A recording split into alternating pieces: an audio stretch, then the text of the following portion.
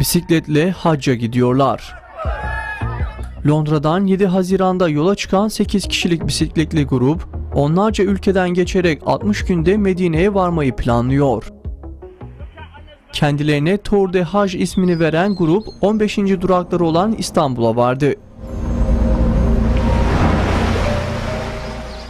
Hem hac yolculuğunu bisikletleriyle tamamlamak hem de dünyadaki ihtiyaç sahibi Müslüman kardeşleri için maddi destek sağlamak için yola çıkan bisikletçiler uzun süredir hayalini kurdukları Sultanahmet'te cuma namazını kıldı.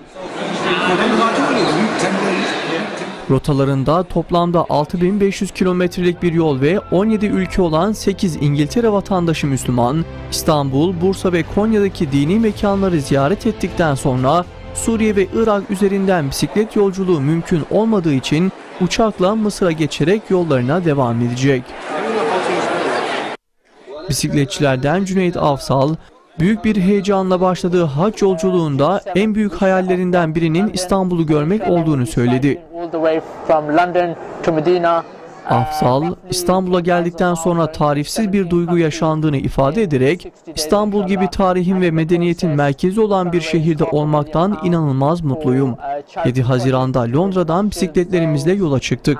4000 kilometre ve 60 günlük bir bisiklet turunun ardından Medine'ye ulaşmayı planlıyoruz. Bu süreçte insanlara yardım için mescit ve okullarda kullanılmak üzere 500 bin poundda bağış toplamayı hedefliyoruz ifadelerini kullandı.